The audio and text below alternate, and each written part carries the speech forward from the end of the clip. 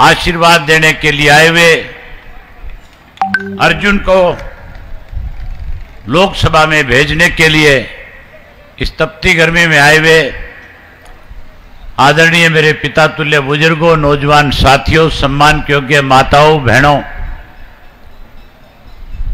मेरे से पहले जो साथी बोलने वाले थे, उन्होंने आज के देश और प्रदेश में किस किस्म के हालात पिछले कांग्रेस के 10 साल में रहे? पाँच वर्ष के भारतीय जनता पार्टी के शासन में किन किन कठिनाइयों को दौर से हमें गुजरने पड़ा? सब बातों पे बड़े खुल करके आपके सामने चर्चा करी। साथियों 12 तारीख को देश के सबसे बड़ी पंचायत के लोकसभा के चुनाव होने जा रहे हैं। डेढ़ दिन का समय हमारे पास शेष बचा है। और इस डेढ़ के दिन के समय में हम सबको एक एक मतदाता के पास जाकर के कांग्रेस के उस 10 साल की लूट का भारतीय जनता पार्टी के पाँच वर्ष के इस शासनकाल के दौरान जिस तरह से हरियाणा प्रदेश को,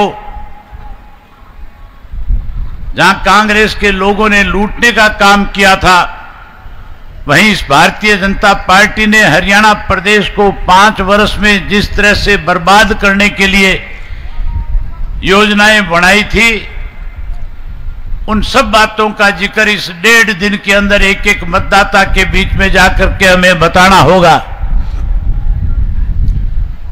आज की आपकी इस भीड़ ने यह बात साबित कर दी। मैं खास करके पत्रकार साथियों से एक बात कहना चाहूँगा।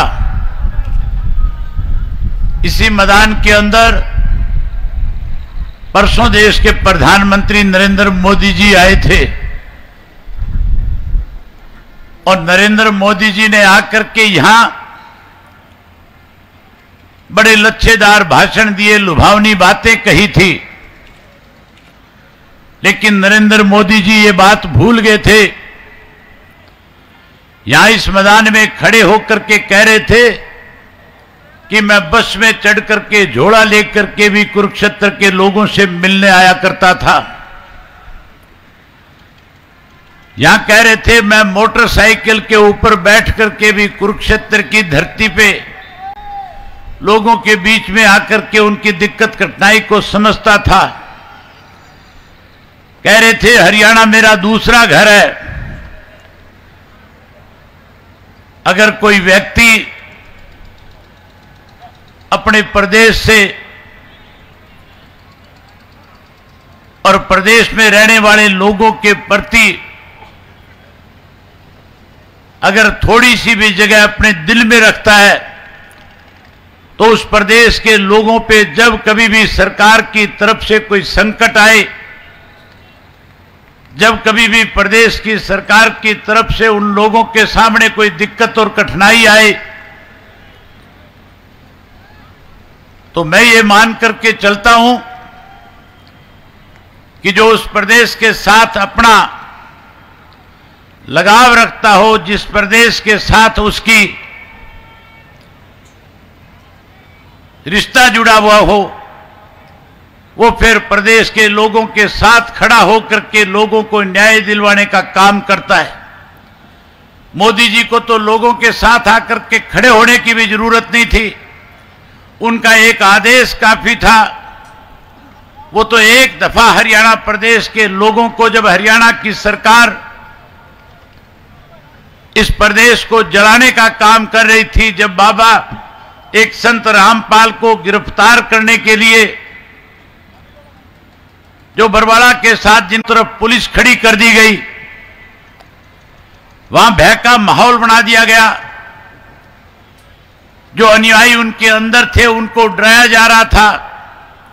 आपने टेलीविज़न में देखा होगा किस तरह से रात के अंधेरे में माए अपने गोद में बच्चों को उठा करके कच्चे पक्के रास्तों से निकलने की कोशिश कर रही थी। पुलिस उनको बाहर जाने देने की बजाय उनके साथ बदसलूकी कर रही थी।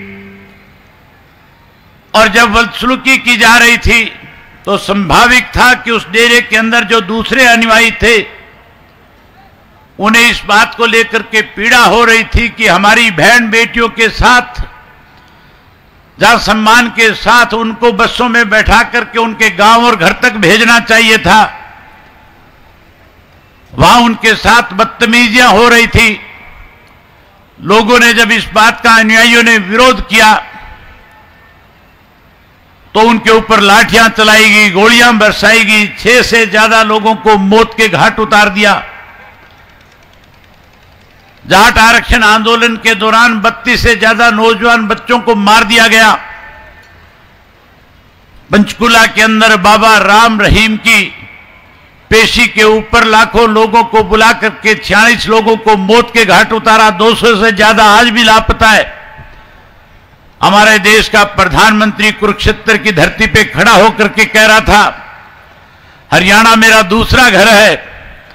अगर मुख्य प्रधानमंत्री के मन में प्रदेश के प्रति थोड़े सा भी सने प्यार होता तो सौ फ़ीसदी देश का प्रधानमंत्री, हरियाणा प्रदेश के मुख्यमंत्री से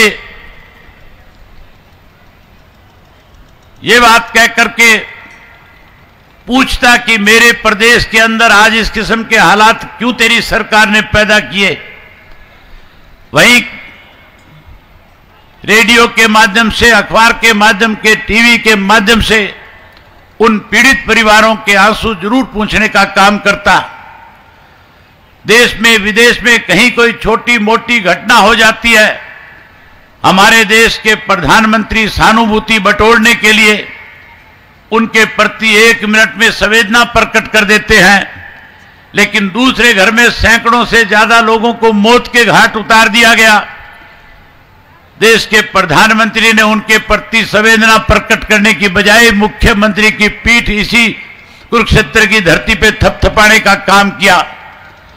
आप चाहते हो कि ऐसे लोग जो हमारे बीच में दूसरे घर का वास्ता देकर के वोट मांगते हैं 12 तारीख को ऐसे लोगों को सबक सिखाने के लिए इंडियन नेशनल लोकदल पार्टी के चुनाव निशान ऐनक के सामने का बटन दबा करके ऐसे लोगों को प्रदेश और देश की सत्ता से बाहर करने का काम करना। साथियों, मैं आपका ज़्यादा समय नहीं लूँगा। चंद बातें आपके बीच में कह करके आपसे इजाज़त ले लूँगा। इस प्रदेश के अंदर जात पात का जहर घोड़ा गया। प्रदेश और देश की सरकार ने जो वायदे आप लोगों के बीच में किए थे, वायदे पूरे करने की बजाय आपका ध्यान बांटने का काम किया गया।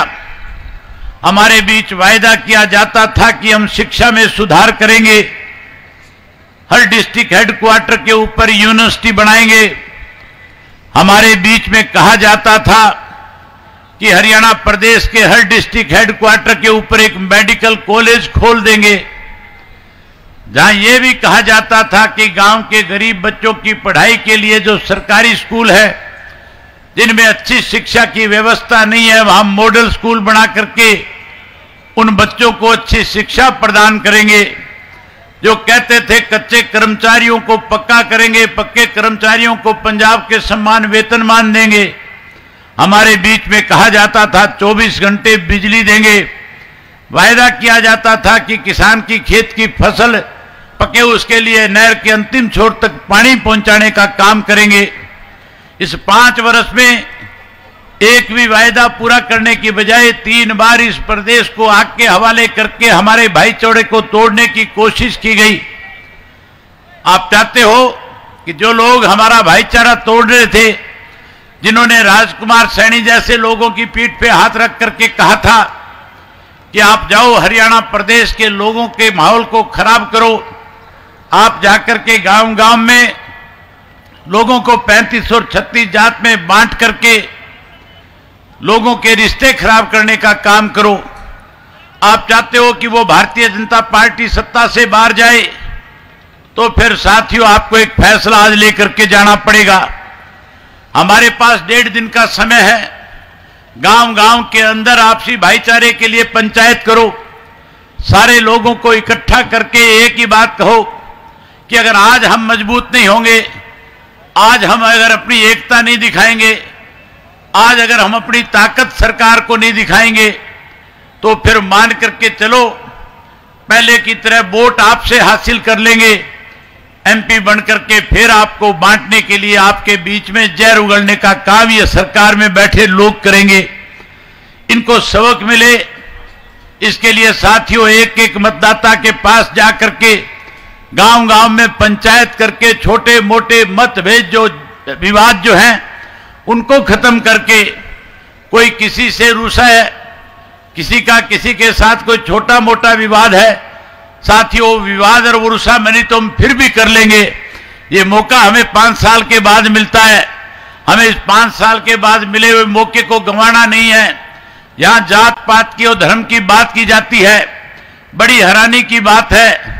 कोई भी व्यक्ति जब अपनी माँ की पेट से पैदा होता है, जो बच्चा पैदा होता है, उसको इस बात का पता नहीं होता कि मैं किस धर्म और किस जाति में जन्म लेने जा रहा हूँ। लेकिन जन्म लेने के बाद भगवान कृष्ण ने भी जब जन्म लिया था तो एक यादव के घर में जन्म लेने का काम किया था।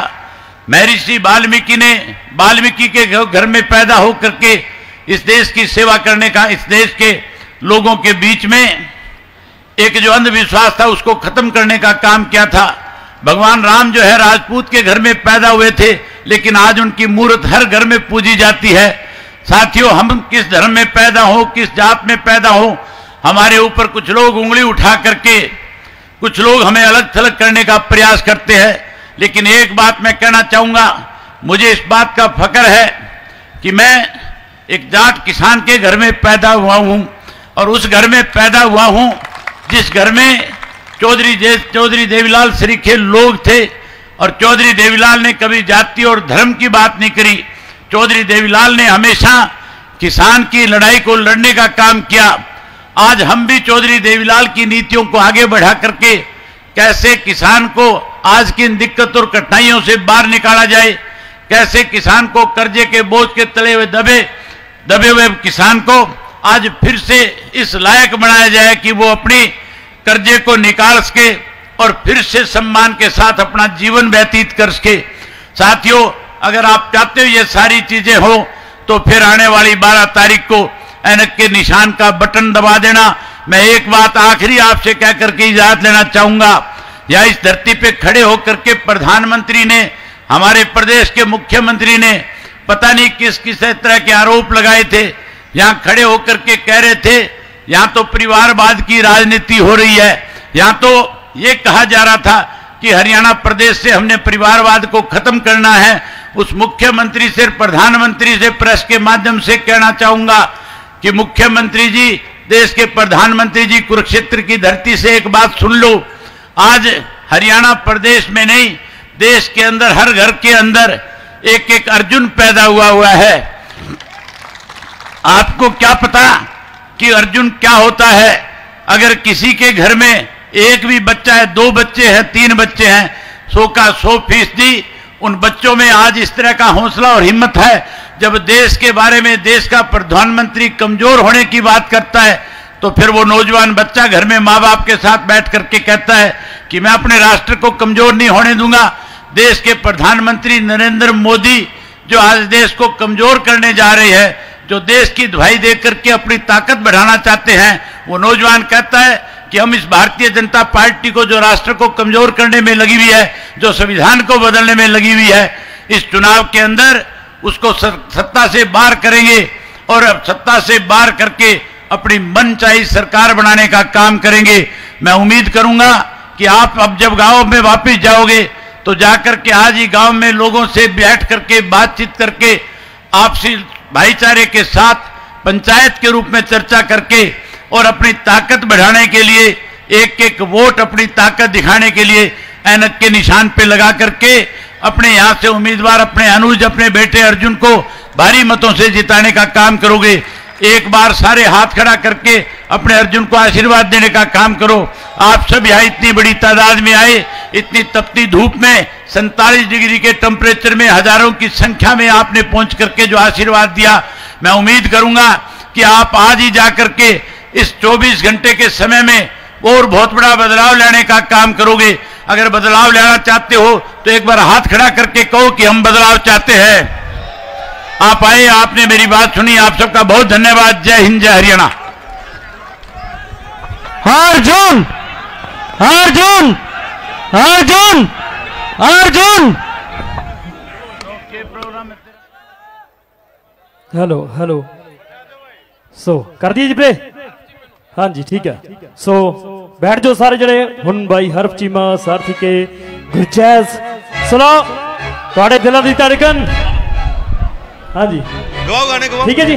ओके हाँ जी world famous one and only ਬਾਈ ਹਰਫ ਚੀਮਾ ਬਾਈ ਹਰਫ ਚੀਮਾ ਚੀਮਿਆਂ ਦਾ ਮੋੜ ਚੀਮਾ ਹਰਫ ਚੀਮਾ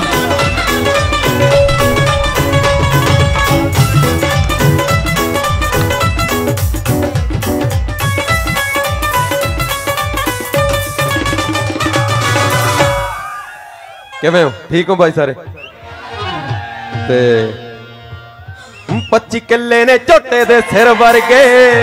ਸਿਰ ਵਰਗੇ ਮੈਂ ਨਹੀਂ ਗੱਲਾਂ ਨਾਲ ਹੋਣਾ ਇੰਪ੍ਰੈਸ ਵੇ। ਹੋਣਾ ਇੰਪ੍ਰੈਸ ਵੇ। ਸੂਟ ਲੈ ਦੂੰ ਕਿਸੇ ਚੰਗੇ ਜੇ ਬੁਟੀਕ ਤੋਂ।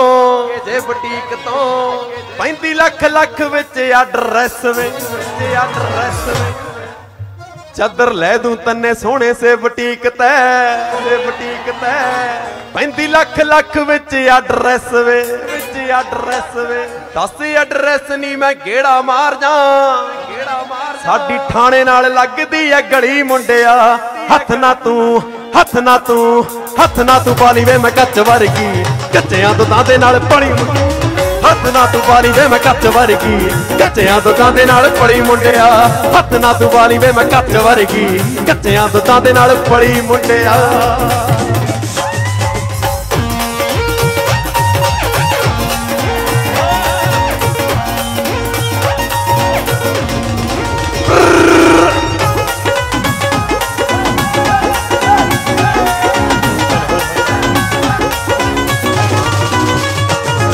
ਸਾਲ 18ਵਾਂ ਹਲਾਤੇ ਪੱਤੀ ਪਿੰਡ ਵੇ।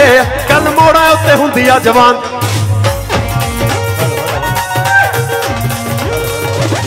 ਤੇਰੀ ਰੇਂਜ ਤੇ ਨਹੀਂ ਜੱਟੀ ਰੇਂਜ ਵਰਗੀ। ਹੁਣ ਜਿੰਨੀ ਆ ਚੜਾਈ ਖੱਬੀ ਖਾਨ ਦੀ ਤਿੱਖੀਆਂ ਚੀਜ਼ਾਂ ਨੂੰ ਹੱਥ ਪਾਈਏ ਵੇਖ ਕੇ। ਤਿੱਖੀਆਂ ਚੀਜ਼ਾਂ ਨੂੰ ਹੱਥ ਪਾਈਏ ਵੇਖ ਕੇ, ਤਿੱਖੀਆਂ ਚੀਜ਼ਾਂ ਨੂੰ ਹੱਥ ਪਾਈਏ ਵੇਖ ਕੇ, ਵੇਖੀ ਹੱਥ ਇੱਕ ਦਿਨ ਭਾਲੂ ਜੱਟ ਨੀ, ਕੱਚਿਆਂ ਦੁੱਤਾਂ ਦੇ ਨਾਲ ਪੜੀ ਹੋਈ ਨੂੰ, ਦੁੱਧ ਤੋਂ ਮਲਾਈ ਵਾਂਗੂ ਲਾਲੂ ਜੱਟ ਨੀ, ਕੱਚਿਆਂ ਦੁੱਤਾਂ ਦੇ ਨਾਲ ਪੜੀ ਹੋਈ ਨੂੰ, ਦੁੱਧ ਤੋਂ ਮਲਾਈ ਵਾਂਗੂ ਲਾਲੂ ਜੱਟ ਨੀ ਆ ਕੱਚਿਆਂ ਦੁੱਤਾਂ ਦੇ ਨਾਲ ਪੜੀ ਹੋਈ ਨੂੰ, ਦੁੱਧ ਤੋਂ ਮਲਾਈ ਵਾਂਗੂ ਲਾਲੂ ਜੱਟ ਨੀ, ਆ ਜਾ।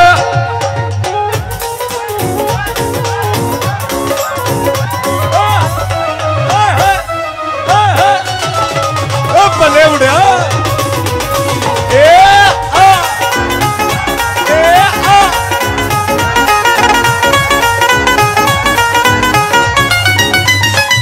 ਪਿੰਡ ਬੈਕ ਵੜ ਜਾ ਕੋਈ ਤੇਰਾ ਚੀਮਿਆ ਮਾਲਵਾ ਬੈਲਟ ਦੀ ਆ ਸ਼ਾਨ ਗੱਭਰੂ ਮਹਿੰਗਾ ਚੰਡੀਗੜ੍ਹ ਮਹਿੰਗਾ ਚੰਡੀਗੜ੍ਹ ਹੋਣਾ ਨਹੀਂ ਅਫੋਰਡ ਵੇ ਤੇਰੇ ਚੰਡੀਗੜ੍ਹ ਰਿਹਾ ਪ੍ਰਧਾਨ ਗੱਭਰੂ ਕਿੱਥੋਂ ਫੜ ਲੂ ਪੁਲਿਸ ਨੀ ਤੇਰਾ? ਯਾਰ ਪੁਰਾਣਾ ਪਾਪੀ ਐ। ਕਿੱਥੋਂ ਫੜ ਲੂ ਪੁਲਿਸ ਨੀ ਤੇਰਾ? ਯਾਰ ਪੁਰਾਣਾ ਪਾਪੀ ਐ।